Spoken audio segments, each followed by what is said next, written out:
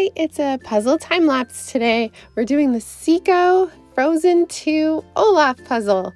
Isn't he the cutest?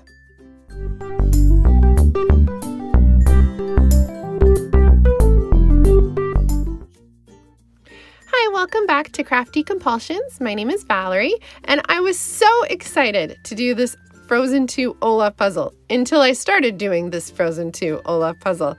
It was hard. I had to break out the box and look at the picture, even into the border. But I love it once it was done. If you enjoy this content, please like and subscribe.